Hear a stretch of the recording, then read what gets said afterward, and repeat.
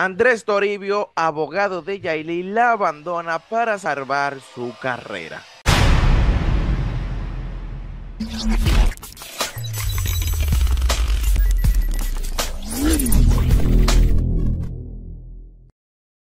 El abogado Andrés Toribio hizo un comunicado a través de su cuenta de es antiguo Twitter, donde le informó al público de que ya no prestará su servicio para la artista Yailin la más viral. Dice Andrés Toribio, hago saber que por asuntos propios nuestra oficina renunció a dar servicios y o asistencia jurídica a la joven intérprete de música urbana Georgina Guillermo Díaz, mejor conocida como Yailin la más viral.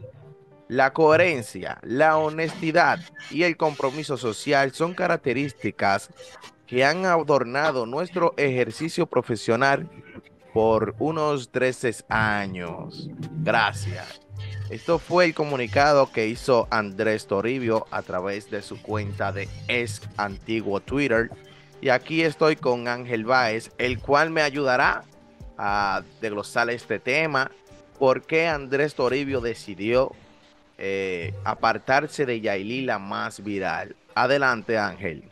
Tú sabes que Andrés Toribio se ha caracterizado por ser un abogado como eh, viene algo a la farándula, eh, un caso eh, mediático, él le gusta como ser el, protagonista, vamos a decir así, el abogado de esa situación.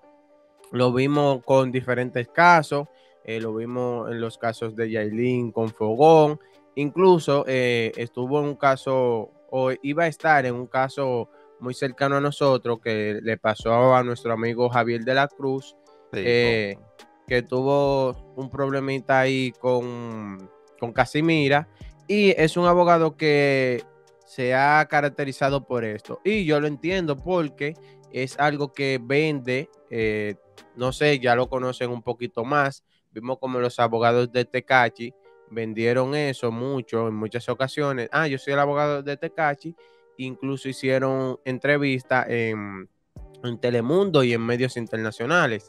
Y eh, Andrés Toribio llevaba lo que es una buena reputación, aún la lleva, pero fue perdiendo un poco de, credibilidad en el caso.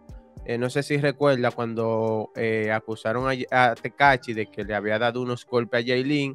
Jailin subió unas declaraciones, él subió una captura hablando con ella de que todo estaba bien, pero al otro día se armó el berenjenal de que fue verdad, de que si Jailin fue golpeada, ¿tú entiendes? Entonces, eso le bajó credibilidad.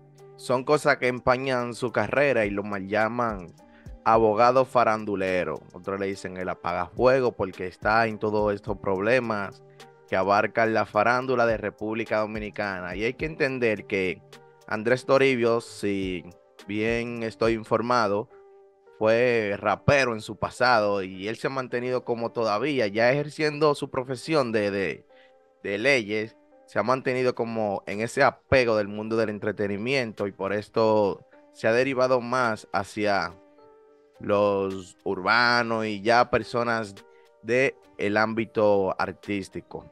Eh, con esto claramente vemos que Andrés Toribio quiere salvar su carrera, porque lo que está haciendo Yailin y Tekachi Sinai es algo que pone en juego eh, su credibilidad, su honestidad y su seriedad, como así también lo dijo en el comunicado, que su coherencia y el compromiso social se ven en peligro ante tal situación, porque sale a defender a Yailin, pero Yailin eh, aún así vuelve con su, con su pareja, eh, obviando, echando a un lado todo lo que hace Andrés para tratar de, de salvarla o de protegerla y de representarla ante la justicia. Esta tira todo por el suelo sin importar nada las personas están apoyando lo que es la decisión de Andrés Toribio. Dice que es la mejor decisión que él había tomado, leyendo algunos comentarios.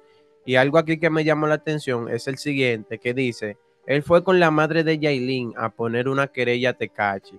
Ayer, Tecachi sube una foto en el apartamento donde vive la señora. En, en pocas palabras, lo están poniendo de relajo. Y es verdad, no sé si recuerda cuando él fue junto eh, a la madre de Yailin, Wanda, eh, a poner la querella y eso, pero entonces ahora se ve una Wanda eh, haciéndose operaciones, muchas personas diciendo que Tecachi fue que pagó esa operación y André Toribio queda básicamente en ridículo y él está perdiendo un trabajo que le iba a durar toda la vida porque en el rumbo que lleva Yailin de vida es para usar un abogado todos los días. Va a necesitar un abogado para toda la vida, pero yo pienso que tomó una buena decisión y está salvaguardando su reputación.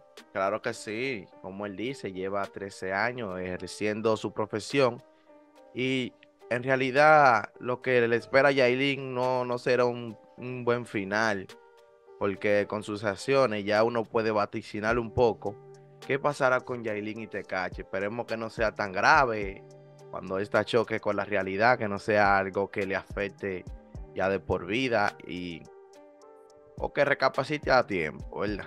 No, realmente, como tú dices, eh, el futuro de esta relación es un futuro que muchos saben, eh, es algo que no va a terminar bien. Lo mejor, yo lo dije en un video, eh, que pueden hacer ambos es separarse André Turibio eh, fue el primero que abrió fuga, dijo no, yo, es como dicen la, persona, no todo el dinero se puede ganar. ¿Tú entiendes? Entonces, eh, como sigue Yailin eh, junto a Tecachi, que ya luego de, lo que pasó, que para muchas personas Yailin no iba a volver con Tecachi, luego lo vimos aquí juntos.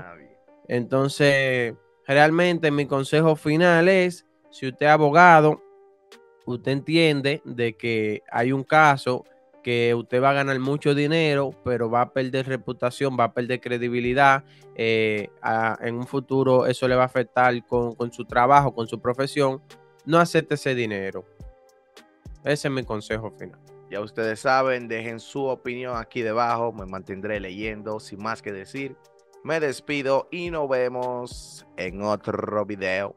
Vamos allá pero te va a ir peor. Llora, ahora prefiero estar sola. El calma te va a devolver para atrás. Real la muerte y te volviste nada, te volviste nada. Mira, ve.